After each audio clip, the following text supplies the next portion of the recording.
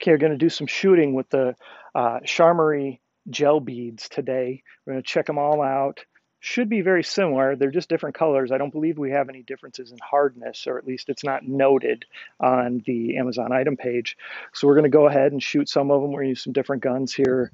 We've got um, Glock style here from Anstoy. This is the older original Glock style. So we'll go ahead, we'll give that a chance. We've got the current Desert Eagle, and then the tried and true AKM 47. So we're going to go ahead and do some different shooting with them. So let's just grab one. We're going to go with the multicolor beads first. Like I said, they um, should all have similar FPSs because they're all the same hardness, I think. So, at least as far as we know. So first off, you know, let's give it some We'll give it some shots downrange. All right. Now let's go ahead and check it out for FPS.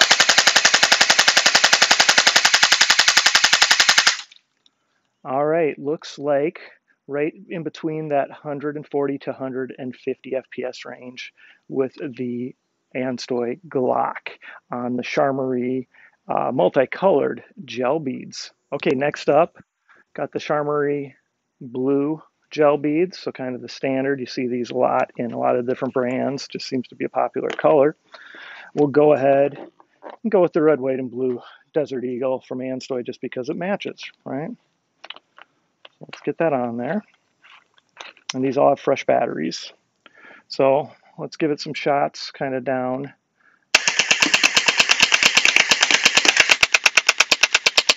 Okay.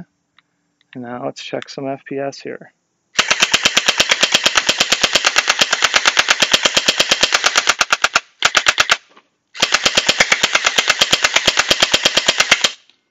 All right, so looking between 130 up to 140, so kind of around 140 FPS on this. So not quite as strong as the Glock, but pretty darn close. And again, that is with the Chermory um, gel beads, in this case, the blue. Okay, got the orange Chermory gel beads ready to go now. Got them in uh, an Anstoy AKM 47. Gonna go ahead, check it out. Like I said, I like to shoot a few down first. Okay, let's check it out.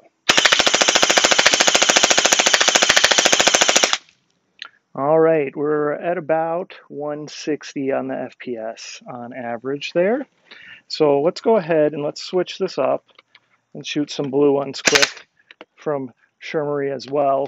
I assume we're going to get similar FPSs, so just to test that hypothesis.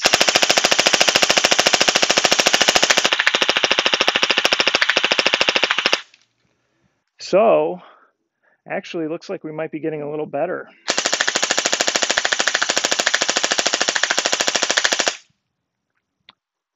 You know, looks like you're getting up to that 150 to 160 FPS range at least with the blue ones. So maybe it does make a difference. Um, maybe the balls are slightly different size. There's a lot of variables and they're pretty close in FPS, but that is the Chermory um, gel beads. Check them out. All right, we've got the Chermory green gel beads now, or turquoise, whatever you want to call it.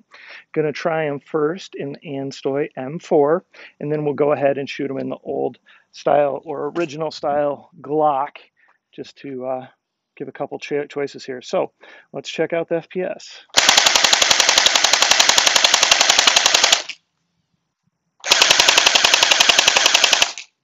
All right, looks like we're on average about 210 uh, FPS.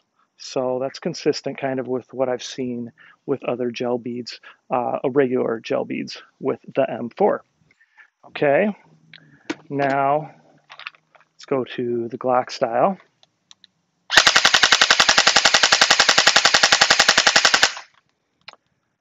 So again, looks like we're around that 160 FPS. So um, you know, consistent with what it was with the other color Chermory gel beads as well. So I'd say all of their gel beads are probably the same hardness based on the FPSs being so close between the same gel blasters.